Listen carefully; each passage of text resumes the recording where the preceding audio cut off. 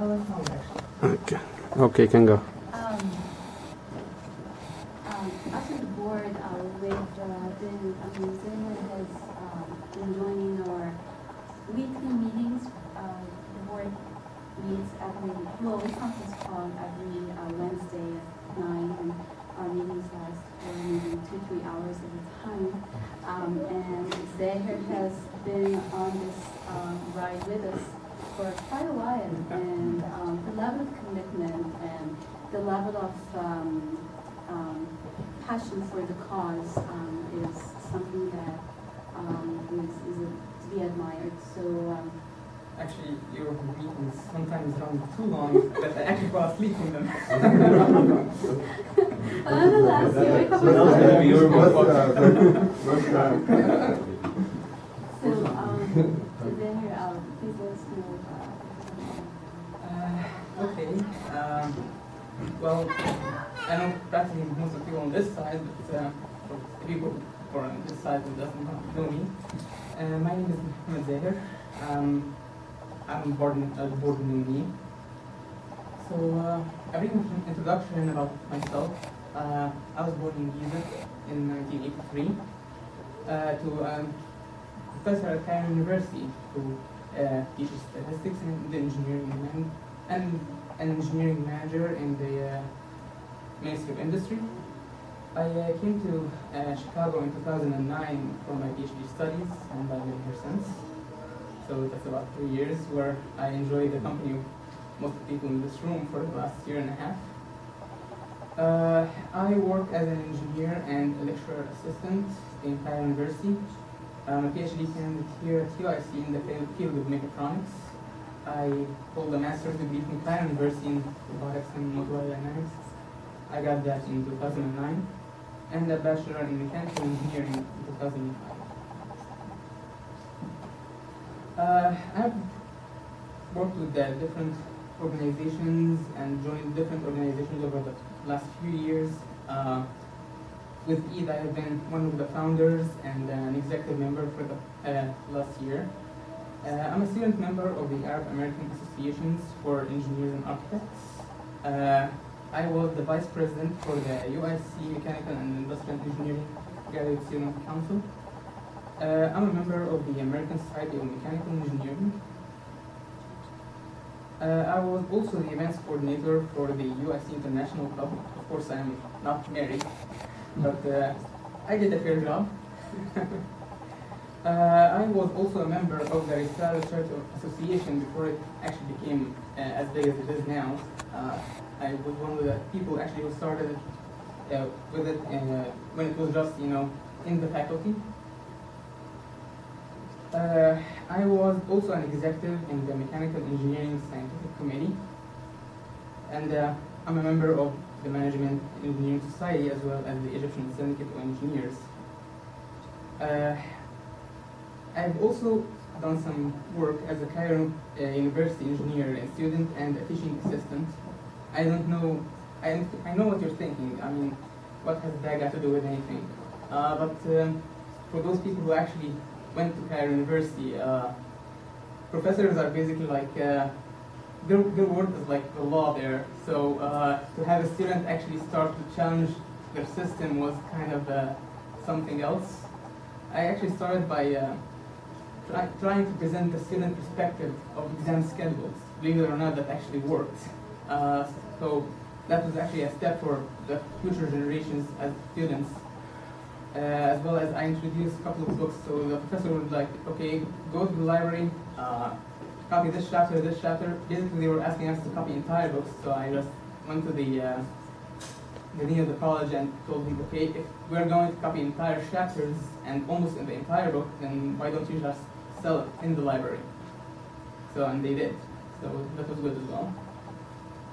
As a teaching assistant, I actually uh, motivated students to actually be more active and more conscious about their uh, future.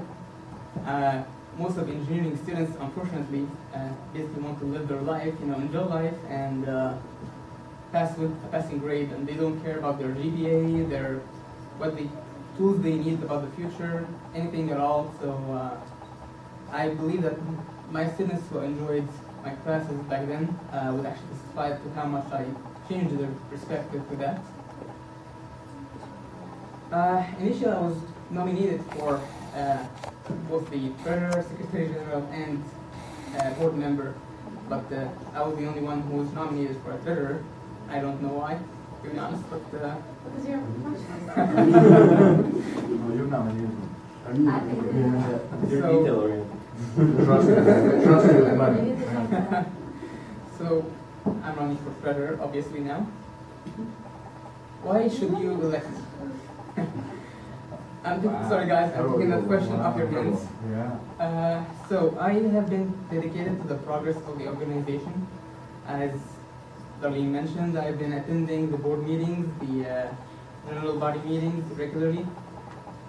Some of the lengthier uh, minutes and more detailed ones actually were written by me, and I provide assistance to Sarah, uh, our previous Secretary General, whenever she needs help.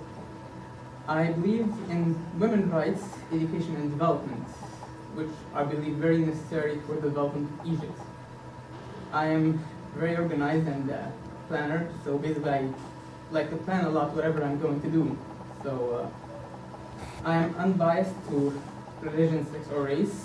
Uh, I actually grew up in a unique environment where actually where uh, basically the area where I grew up was half Christian, half Muslim. We had a church and one end of the street and a mosque and the other. My whole building was mostly Christian, so uh, basically I, I have a unique perspective of that. We're very, I grew up in a family very friendly with them. We believe that uh, every person in the family is entitled to her, his or her own career. So her career as important as his career, education is as important as well. So I think that might be an English perspective in Egypt, even by modern standards. I was also born and raised in Egypt, which is actually something that uh, the board, actually, most of the people running, uh, I think, uh, the, basically, I think the running people right now are have more perspective to the American view rather than the Egyptian view. So since I came in 2009, I'm more close to the current Egyptian perspective, so I can bring that to the board as well. What will I add as a board member? Well, uh, as a mechanical engineer, uh, we took some courses in engineering planning and managerial skills, which I plan on uh, bringing that to the table on the board and making things you know, more organized, uh, more flow charts, more planning. Uh, This may not be a good motivating point if you want to. One of the things that had problem with over the last year was our data and records keeping. So I plan on actually improving that over the next year, and at least set a standard where we can actually start building on that as the organization grows on. Insight to the current Egyptian psychology. Uh, now I have noticed also over the last year that the members have not been very active unless they are really asked to. So I plan on pushing you guys to actually be more involved. 差不多差不多对不对？过来吧，过来吧，我这边吧，过来吧，我给洗了。Uh, generally speaking, I have a cautious and a reasoning nature. So basically, I, uh, I'm not the kind of guy who basically jump uh, too excited about things. I actually take a, try to take a step back as much as possible, uh, look at the cons or the problems that can occur, and you know try to come up with a plan in case these things occur. Actually, so I think that is something that the board, uh, or any future board might need you know, just not get too excited about a project or an idea, and you know, basically look at the uh, the whole picture. My vision for the organization, actually speaking, uh, I think Amr actually covered that more than sufficiently.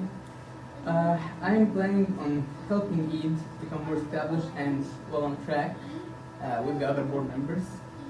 Uh, getting the Educate the Young Educate project going on, you know, and take, basically take off the ground.